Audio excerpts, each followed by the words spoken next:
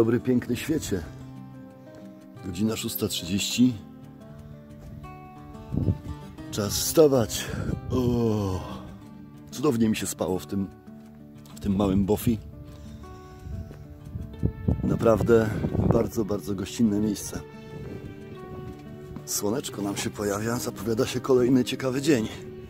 Czwarty dzień w Walii z wilczym szlakiem. Zrobiłem sobie właśnie kawę.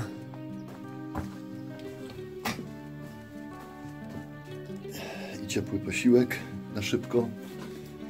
Zaraz będę musiał tutaj posprzątać. Pozamiatam podłogę, bo jest troszeczkę bałaganu, który w sumie już był, jak tutaj przyjechałem. Ale posprzątam, zabiorę śmieci. Nie mam niestety długopisu, żeby się wpisać do księgi pamiątkowej. Zazwyczaj noszę przy sobie, ale mam go w kurtce, a kurtka jest w samochodzie, także no niestety nie zrobię mojego wpisu. Trudno.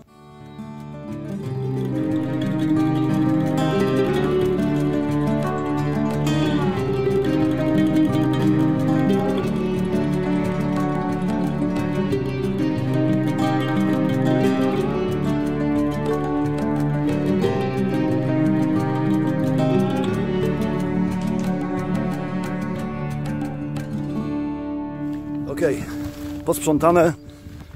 Żegnamy ten gościnny przybytek.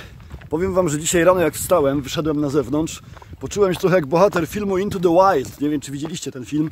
Jest na Netflixie, polecam. No tamten to dopiero był hardkorowiec. Wracam teraz do auta, zrzucić klamoty. Mam już w głowie plan bitwy na dzisiejszy dzień, ale podzielę się z Wami dopiero jak zacznę go realizować. Do zobaczenia za chwilę.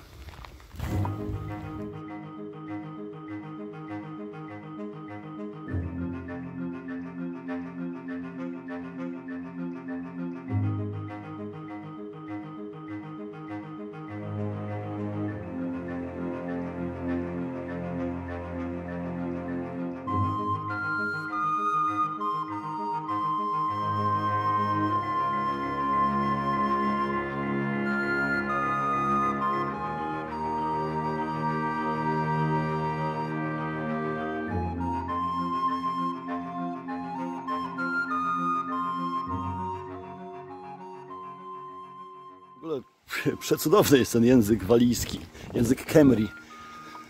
E, Ciekawostka taka, że John Tolkien, twórca Władcy Pierścieni, był zafascynowany tym językiem, uczył się go i język elfów Sindarin bodajże się nazywał, oparł właśnie na języku walijskim. Kemri.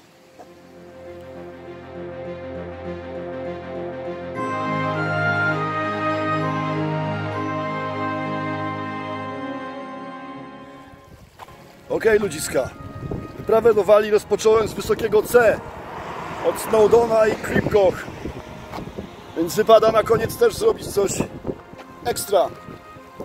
Trochę wczoraj wypocząłem, więc zaatakujemy Tryfan. 917 metrów. Nie jest to jakaś najwyższa góra na świecie. Jest bodajże 15 w Wielkiej Brytanii. Ale jest uważana za bardzo trudną, jest owiana złą sławą, bo były tutaj dziesiątki przypadków wypadków, przypadków wypadków. Zdarzały się wypadki, w tym wiele śmiertelnych. Jak wiecie, ja tego nie ukrywam, nie jestem żadnym ekspertem od wspinaczki, jestem absolutnym początkującym łazikiem górskim, ale spróbuję. Pogoda taka nie najgorsza, troszeczkę wieje wiatr, tam do góry widzę są chmury, ale spróbujemy. Mam nadzieję, że dam radę, zabieram Was ze sobą. Trzymajcie kciuki, tryfan albo nic.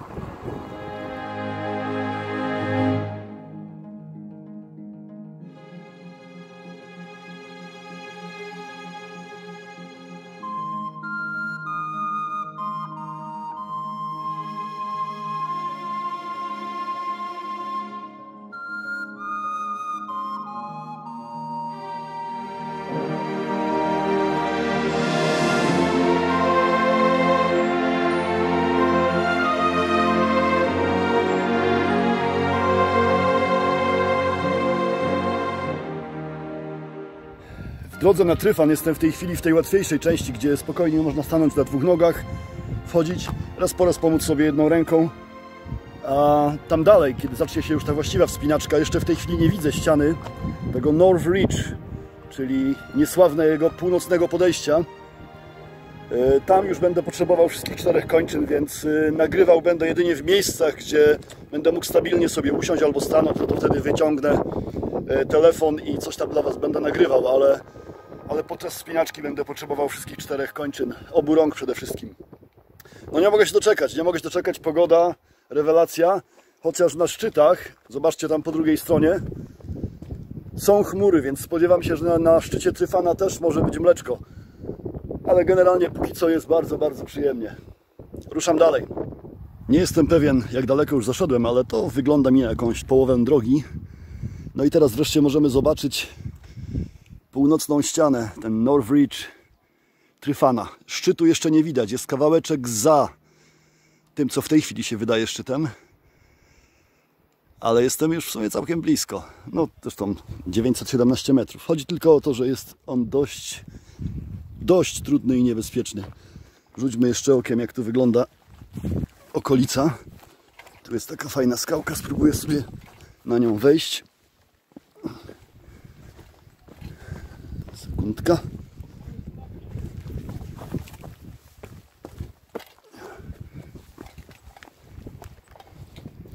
Ok, to możemy nakręcić panoramę. Trochę wieje. Sporo ludzi się wspina.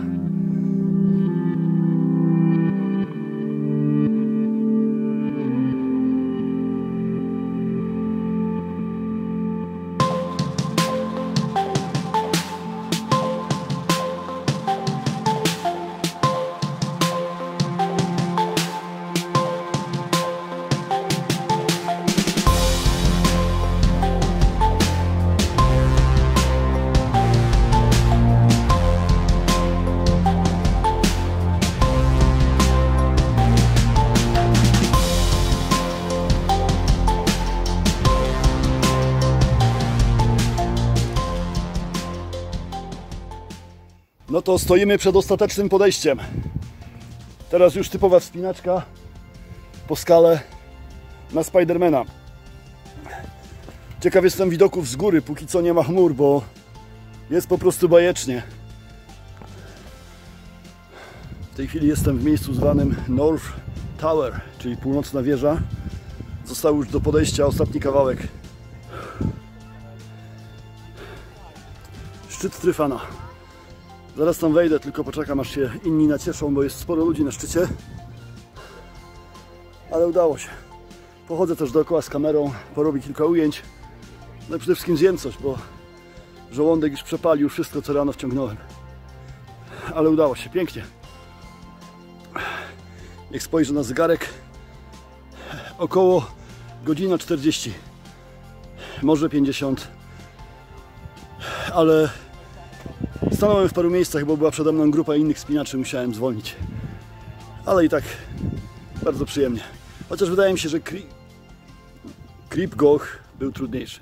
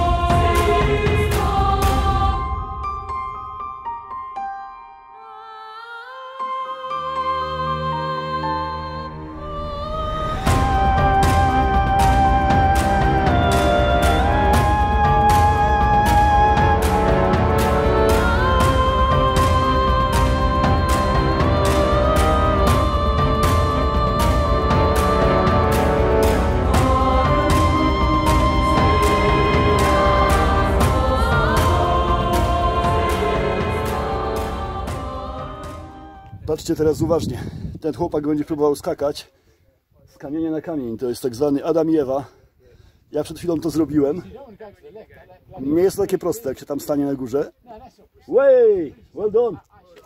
Zrobił to. Ja też. Według wierzeń, wierzeń, według podań tutejszych, ten kto wejdzie na tryfana i przeskoczy z kamienia na kamień, staje się jednością z tymi górami. Zrobiłem to. Oczywiście nie mam zdjęcia tak z daleka, bo no nie chciałem prosić nikogo, żeby mi kręcił to. Ale mam ujęcie z mojej ręki, jak skaczę z kamienia na kamień, więc mam nadzieję, że się udało, że będzie to widać. Cudownie. No teraz trzeba coś zjeść, napić się i zapalić. Nie bierzcie ze mnie przykładu. Ok, siedzimy sobie na szczycie Tryfana. Mam nadzieję, że pomimo świecącego słońca będziecie coś widzieć na tej mapie. Tutaj zaparkowałem samochód. Tutaj wspiąłem się na Tryfan. W tej chwili jestem na szczycie 917. Teraz przejdziemy na Far South Peak. To jest ten szczyt. O, tu zaraz obok. Ta wystająca skała. A następnie zejdziemy w dół nad jezioro Lyn Bochlwyt, które jest tam w dole.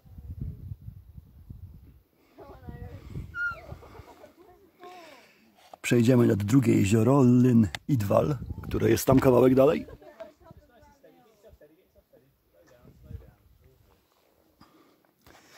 I chciałbym znaleźć tutaj ścieżką Devil's Kitchen. Takie bardzo, bardzo ciekawe miejsce. Owiane złą sławą. Tam podobno były praktyki kanibalistyczne. I z Devil's Kitchen będziemy zawracać tą ścieżką wzdłuż jeziora, po, po drugiej stronie jeziora do Ogłem Cottage i do samochodu. Taki sobie trip na dzisiaj wymyśliłem. Pogoda sprzyja, więc mam nadzieję, że na pożegnanie Wali to będzie bardzo dobra trasa. Ruszam.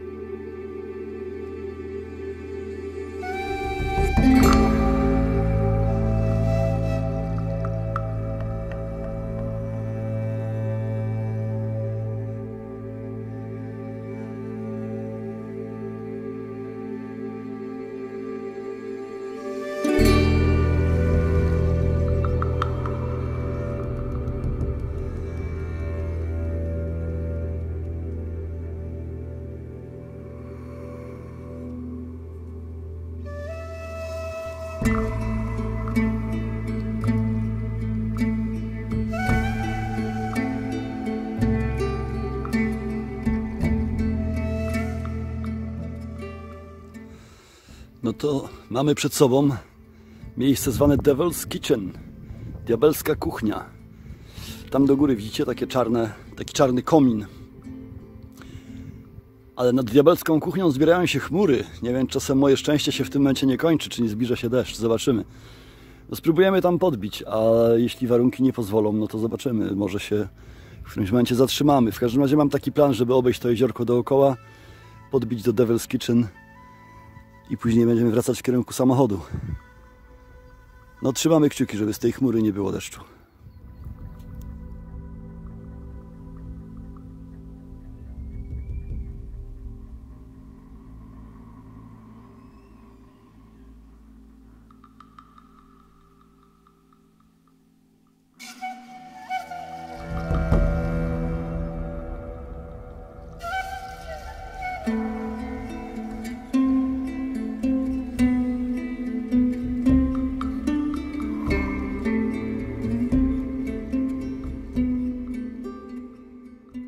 W każdej kuchni, nawet w diabelskiej, musi być woda.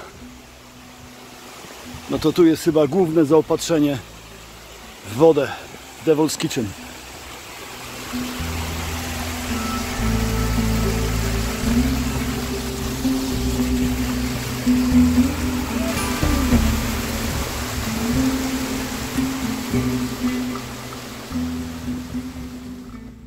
Zaczynam się czuć, jakbym wspinał się na górę przeznaczenia we Władcy Pierścieni, żeby zniszczyć pierścień. Zobaczcie na te głazy. O masakra. O, schodzi jakiś człowiek. Chyba nie Sauron. Nie, Sauron nie używał kijków. Devil's Kitchen. Już o krok. Jesteśmy przy samej kuchni diabła. Byłem już na pulpicie diabła. Teraz, teraz czas na jego kuchnię. Jest jakieś takie przesłanie, które mówi, podanie, że jakaś szalona grupa kanibali gotowała tutaj ludzi w tym przesmyku, ale nie wierzę w to. Gdybym chciał kogoś zjeść, zrobiłbym to gdzieś niżej, bo po jedzeniu ciężko się chodzi i potem człapać się całą drogę z powrotem nie ma szans. Myślę, że nazwę nadano dlatego, że z daleka wyglądało to bardzo demonicznie, jak taki czarny, okopcony komin i powiedziano, że to kuchnia diabła. Bliska wygląda bardzo nieszkodliwie. Zaraz podejdę tam na sam koniec i spróbuję zajrzeć do środka. Może jest tam diabeł. W każdym bądź razie, jeśli będziecie niegrzeczni, będziecie śmiecić w górach, traficie do kotła, do diabła. Wszystkim tym, którzy śmiecą w górach, tego właśnie życzę. Aj, zły ze mnie człowiek. Dobra, idę. Strasznie wieje w tej kuchni. Przeciąg mają. Jestem w kuchni diabła.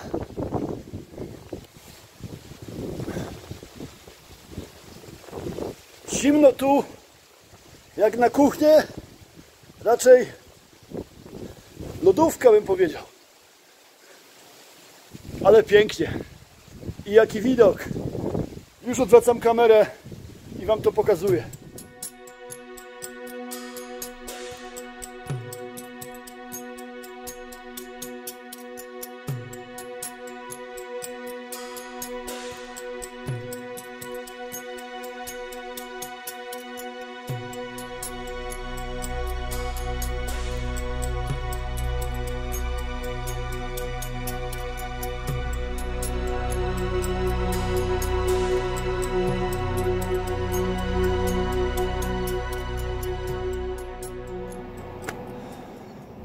Jestem już na dole. Koniec wycieczki, jeszcze czeka mnie mały spacerek do auta. Tam na zakręcie stoi bestia. Za mną widzicie Tryfana, który okazał się wcale nie tak straszny, jak go malują. Powiem, bardzo, bardzo taka przyjazna górka.